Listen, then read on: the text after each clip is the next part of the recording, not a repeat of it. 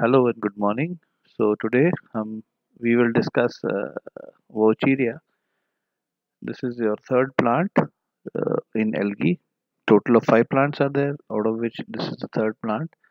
तो जैसे हम normally करते हैं important points will be marked in red and uh, this is uh, थोड़ा सा different है ये plant. It's a bit different from the other algal plants. कुछ features हैं इसके जो दूसरों में आपको नहीं मिलते हैं, इसलिए ये इम्पोर्टेंट है थोड़ा सा तो let's start with Vaucheria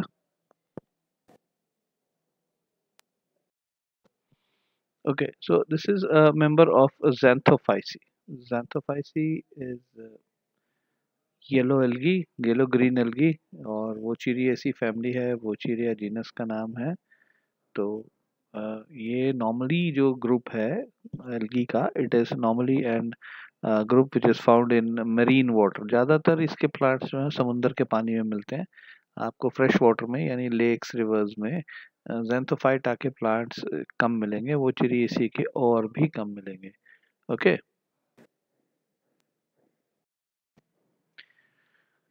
the species are in uh, water in uh, marine water, maximum species are in fresh water, but some of species are in marine water also. और हैरानी की बात है कि ये एल्गी है, लेकिन फिर भी कुछ स्पीशीज इसकी टेरेस्ट्रियल भी है मतलब ज़मीन पे भी मिलती हैं। गीली मिट्टी, दीवार अगर कोई है या मिट्टी है जो गीली है, उसके ऊपर भी ये ग्रो कर जाती ठीक है? इसमें पिगमेंट्स जो हैं, इसका कलर अगर आप देखेंगे तो येलोइश ग्रीन होता है। इसमें chlorophyll A beta carotene beta carotene is the pigment which you find in carrot also आपको गाजर के अंदर जो येलो कलर का पोर्शन होता है, उसको हम बीटा कैरोटीन कहते हैं। तो वो इसमें भी मिलता है, इस प्लांट में भी मिलता है। इसकी वजह से इसका कलर जो है येलोइश ग्रीन होता है। ग्रीन तो होता है क्लोरोफिल तो सभी प्लांट्स में होती है। लेकिन इसके साथ साथ इसमें बीटा कैरोटीन भी है। फ़ूड नॉर्मली प्लांट्स में स्टार्च के फॉर्म में स्टोर होता है। एनिमल्स में ग्लाइकोजन प्लांट्स में स्टार्च लेकिन यहाँ पे it is stored in the form of oil okay now जो इसका प्लांट बॉडी है, वो क्योंकि रूट स्टेम लीफ में डिफ्रेंशिएटेड नहीं है, इसलिए हम इसको थैलस कहते हैं और इसका जो थैलस है ब्रांच्ड फिलामेंट्स का बना हुआ है। ये इसमें इंपॉर्टेंट पॉइंट है। अभी तक हमने जितने भी प्लांट्स पीछे डिस्कस किए हैं, वो अनब्रांच्ड फिलामेंट्स हैं, चाहे नॉस्टॉक हो, चाहे उडोगुनियम हो। This this particular plant has branched filaments and then coenocytic coenocytic means multi nucleate एक ही ट्यूब लाइक स्ट्रक्चर होगा उसमें सेल्स नहीं बने होंगे। उस ट्यूब में बहुत सारा साइटोप्लाज्म और बहुत सारे न्यूक्लियाई होंगे। सीनोसिटिक है अनसेप्टेट है। सेप्टा का मतलब होता है वॉल इसके अंदर वॉल्स नहीं है। और जो लास्ट वाली इसकी जो आ, लास्ट वाला पोर्शन है वो हेप्ट्रॉन कहलाता है जिसमें जो एरिया है वो नॉन ग्रीन होता है। और ये सिर्फ़ काम करता है प्लांट की पकड़ बनाने के लिए, रॉक के साथ या सॉइल के साथ जहाँ पे ये ग्रो कर रहा है, okay? So these are some important features vegetative जो अगर इसका आपको आता है वेजिटेटिव स्ट्रक्चर एक्सप्लेन कीजिए तो ये सारे फीचर्स आप लिखेंगे येलो ग्रीन एल्गी है, कौन सी क्लोरोफिल होती है स्टोर्ड फ़ूड क्या होता है थैलस किस टाइप का होता है this is the most important point thallus is branch coenocytic and unseptate alright so so, जैसा हम बात कर चुके हैं आप देख सकते हैं इसमें एक ट्यूब लाइक स्ट्रक्चर है जिसके दोनों तरफ़ ब्लैक ब्लैक का जो आपको शेडिंग की हुई है दैट इज़ साइटोप्लाज्म उस साइटोप्लाज्म के अंदर क्लोरोप्लास्ट भी होंगे न्यूक्लियस भी होंगे ठीक है? और फिर वो लास्ट वाला जो पोर्शन है हेप्ट्रॉन का उससे राइजॉइड्स निकल रहे हैं जो आप बिल्कुल बॉटम पे देख सकते हैं राइट हैंड साइड पे डायग्राम के। उसमें से राइजॉइड्स निकल रहे हैं जो पकड़ बनाने में हेल्प करते हैं। अदरवाइज़ सारा स्ट्रक्चर एक जैसा ही है ब्रांच ट्यूब्स ही है। और इस ट्यूब के दो कॉर्नर्स पे साइटोप्लाज्म है, बीच में खाली जगह है जिसको हम वैक्यूल कहते हैं।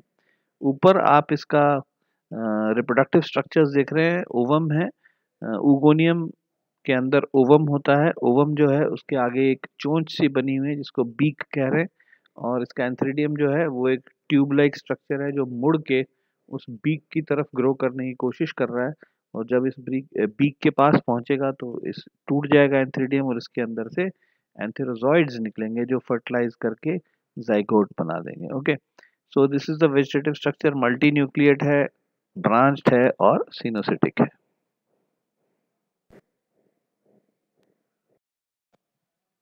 Sexual reproduction takes place by three methods by zoospores, which is the most common method, aplanospores, or and the third method is by cysts. Aplanospores and cysts are formed during unfavorable conditions. Zoospores जो हैं वो ज़्यादातर favourable conditions में मिलते हैं zoospores जो है, इनकी खासियत ये होगी कि multi flagellate and multi nucleate मतलब जैसा इसका सेल का स्ट्रक्चर होता है कि बहुत सारे न्यूक्लियाई एक ही ट्यूब में पड़े हुए हैं, उसी तरह से वही ट्यूब जो है वो लास्ट में उसके एक सेप्टा बन जाता है, एक वॉल बन जाती है और बहुत सारे न्यूक्लियस इकट्ठे हो जाते हैं, एक छोटे से स्ट्रक्चर में जिसको हम जूसपोर कहते हैं। अब ये जो छोटा सा स्ट्रक्चर है इसमें बहुत सारे फ्लैजिला बन जाएँगे और ये मल्टी फ्लैजलेट स्ट्रक्चर बन जाएगा which will then swim about and then it will uh, attach to the ground and form a new plant okay? So it's simple formation कोई इसमें ज़्यादा कॉम्प्लिकेटेड स्टेप्स नहीं है। एक ब्रांच जो है उसके नीचे एक वॉल बन जाएगी बहुत सारे न्यूक्लिया इकट्ठे हो जाएँगे साइटोप्लाज्म इकट्ठे हो जाएँगे। और फ्लैजला बन जाएँगे और ये प्लांट से अलग हो जाएगा, ठीक है? तो इसको सिन जूसपोर कहते हैं क्योंकि इसके अंदर कंपाउंड जूसपोर भी कहते हैं इसको क्योंकि इसके अंदर बहुत सारे न्यूक्लियाई हैं, इसलिए, ठीक है? General term use is synzoospore और it is called a compound zoospore also. तो जैसे हम पहले बात कर रहे थे एक ब्रांच है उस ब्रांच के बेस पे डायग्राम सी में आप देख रहे हैं कि एक, वॉल बन गई एक सेप्टा बन गया और बहुत सारे न्यूक्लियाई ऊपर इकट्ठे हो गए। अब ये न्यूक्लियाई सारे प्लांट बॉडी से निकल जाएँगे इसके आसपास बहुत सारे फ्लैजला बन जाएँगे मल्टी फ्लैजलेट हो जाएगा और इसके अंदर बहुत न्यूक्लियाई हैं और बहुत सारे फ्लैजला हैं इसलिए हम इसको सिनजूस्पोर कहते हैं। सिनजूस्पोर थोड़ी देर स्विम करेगा स्विम करने के बाद किसी एक जगह पे अटैच हो जाएगा और उसके फिर ब्रांचेस निकलेंगी और वो चिड़िया का नया प्लांट बन जाएगा। अप्लानोस्पोर्स कुछ नहीं है। अप्लानोस्पोर्स इज़ लाइक जूस्पोर्स बिल्कुल वैसे ही बनते हैं जैसे जूस्पोर्स बनते हैं। उसी टाइप का स्ट्रक्चर होता है। बहुत सारे न्यूक्लियाई होंगे। बस फ़र्क ये है कि अप्लानोस्पोर्स में फ्लैजिला नहीं होते। एक साइटोप्लाज्म का ग्रुप सा होता है। वो फ्लोट करता रहेगा पानी में थोड़ी देर और फिर जाके नीचे सेटल हो जाएगा और नया प्लांट बना देगा। ठीक है? हिप्नोस्पोर्स या एकाइनीट्स जो हैं, ये ब्रांचेस के अंदर ब्रांच है, पिछले दो स्पोर्स में क्या हो रहा था कि एक ब्रांच है, उस ब्रांच से एक वॉल बनती है और साइटोप्लाज्म बाहर निकल जाता है। यहाँ पे एकाइनीट्स में क्या होगा, एक ब्रांच होगी, उसमें साइटो उसमें नीचे सेप्टा बन जाएँगे, लेकिन जो उसका स्पोर है, वो बाहर नहीं निकलेगा। वो अंदर ही रहेगा और जो पेरेंट प्लांट है जिसके अंदर ये स्पोर बना है, उस प्लांट की डेथ हो जाएगी। स्पोर जो है अनफेवरेबल कंडीशंस में चुपचाप पड़ा रहेगा और फिर उसके बाद जब फेवरेबल कंडीशंस आएँगे तो जर्मिनेट करेगा। तो होता क्या है इस पर नॉर्मली कि एक ही ब्रांच के अंदर कोई पाँच छः काइनिट्स इकट्ठे बन जाते हैं। अब इस तरह का स्ट्रक्चर हम एक और प्लांट में भी देखते हैं जिसका नाम है गोंग्रोसिरा। पर ये गोंग्रोस्कुलर नहीं है, ये वोचीरिया में हो रहा है। इसलिए हम इस स्टेज को, इस तरह के स्ट्रक्चर को जहाँ पे एक ही ब्रांच के अंदर तीन चार वो बन गए आपके गाइनीड्स उसको हम गोंग्रोसिरा कहते हैं। ठीक है? डायग्राम नेक्स्ट स्लाइड पे देखते हैं हम। हाँ तो ये देखिए जो ए ए वाला डायग्राम है, इसमें आप देख रहे हैं बहुत सारे एकाइनिट्स ब्रांच के अंदर ही बने हुए हैं। तो इस स्टेज को गोंग्रोसिरा स्टेज कहते हैं। जब एक वोचीरिया की ब्रांच के अंदर एक लाइन में बहुत सारे काइनिट बन जाए तो उस स्टेज को हम गोंग्रोसिरा स्टेज कहते हैं। अब गोंग्रोसिरा स्टेज के बाद क्या होगा? स्टेप बी में जो आपका एकाइनीट है, वो अनफेवरेबल कंडीशंस को क्रॉस करके, फेवरेबल कंडीशंस जब आएँगी, उसमें जर्मिनेट कर रहा है मतलब वो उसकी वॉल टूट रही है और उसमें से बहुत सारे छोटे छोटे प्रोटोप्लाज्म के ग्रुप्स निकलेंगे जो एक नया थैलस बना देंगे।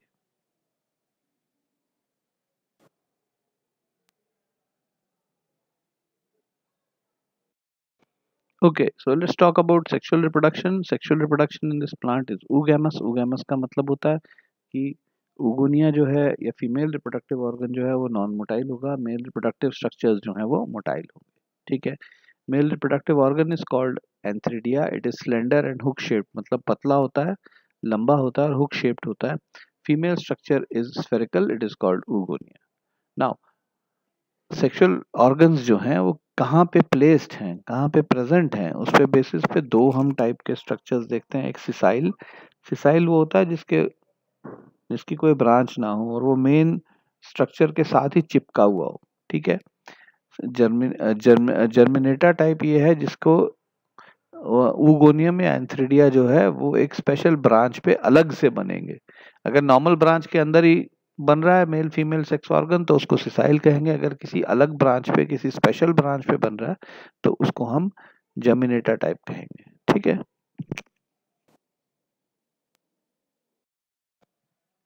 Sexual reproduction takes place by three methods by zoospores, which is the most common method, aplanospores, or and the third method is by cysts. Aplanospores and cysts are formed during unfavorable conditions. Zoospores जो हैं वो ज़्यादातर favourable conditions में मिलते हैं जू जो है, इनकी खासियत ये होगी कि multi flagellate and multi nucleate मतलब जैसा इसका सेल का स्ट्रक्चर होता है कि बहुत सारे न्यूक्लियाई एक ही ट्यूब में पड़े हुए हैं, उसी तरह से वही ट्यूब जो है वो लास्ट में उसके एक सेप्टा बन जाता है एक वॉल बन जाती है और बहुत सारे न्यूक्लियस इकट्ठे हो जाते हैं एक छोटे से स्ट्रक्चर में जिसको हम जूसपोर कहते हैं। अब ये जो छोटा सा स्ट्रक्चर है इसमें बहुत सारे फ्लैजिला बन जाएँगे और ये मल्टी फ्लैजलेट स्ट्रक्चर बन जाएगा which will then about and then it will uh, attach to the ground and form a new plant okay? So it's simple formation. कोई इसमें ज़्यादा कॉम्प्लिकेटेड स्टेप्स नहीं है। एक ब्रांच जो है, उसके नीचे एक वॉल बन जाएगी, बहुत सारे न्यूक्लियाई इकट्ठे हो जाएँगे साइटोप्लाज्म इकट्ठे हो जाएँगे और फ्लैजला बन जाएँगे और ये प्लांट से अलग हो जाएगा, ठीक है? तो इसको सिन जूसपोर कहते हैं, क्योंकि इसके अंदर कंपाउंड जूसपोर भी कहते हैं इसको, क्योंकि इसके अंदर बहुत सारे न्यूक्लियाई हैं, इसलिए, ठीक है? General term use is synzoospore और it is called a compound zoospore also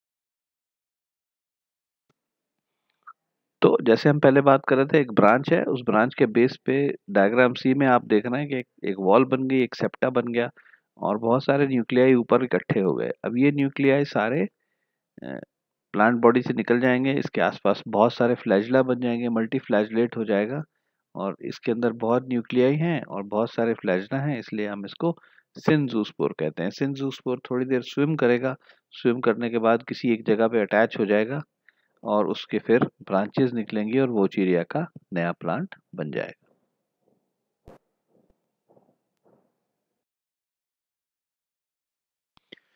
so so, जैसा हम बात कर चुके हैं आप देख सकते हैं इसमें एक ट्यूब लाइक स्ट्रक्चर है जिसके दोनों तरफ़ ब्लैक ब्लैक का जो आपको शेडिंग की हुई है दैट इज़ साइटोप्लाज्म उस साइटोप्लाज्म के अंदर क्लोरोप्लास्ट भी होंगे न्यूक्लियस भी होंगे ठीक है? और फिर वो लास्ट वाला जो पोर्शन है हेप्ट्रॉन का, उससे राइजॉइड्स निकल रहे हैं, जो आप बिल्कुल बॉटम पे देख सकते हैं राइट हैंड साइड पे डायग्राम के, उसमें से राइजॉइड्स निकल रहे हैं, जो पकड़ बनाने में हेल्प करते हैं। अदरवाइज़ सारा स्ट्रक्चर एक जैसा ही है ब्रांच ट्यूब सी है, और इस ट्यूब के दो कॉर्नर्स पे साइटोप्लाज्म है, बीच में खाली जगह है, जिसको हम वैक्यूल कहते हैं।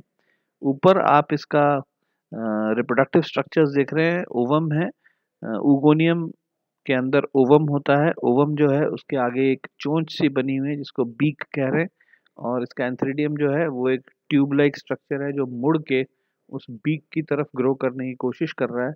और जब इस बीक बीक के पास पहुंचेगा तो इस, टूट जाएगा एंथ्रीडियम और इसके अंदर से एंथेरोजॉइड्स निकलेंगे, जो फर्टिलाइज करके जाइगोट बना देंगे। Okay? So, this is the vegetative structure. Multi nucleate है ब्रांच है alright so this is the life cycle diagrammatic representation है पूरे लाइफ में वो चीज़ें किस किस तरह से कौन से कौन से स्टेजेस से ग्रो करता है दिस इज़ फॉर क्वेश्चन अगर आपसे पूछते हैं कि भाई uh, वो चिड़िया का लाइफ साइकिल बनाइए तो उसके लिए ये है।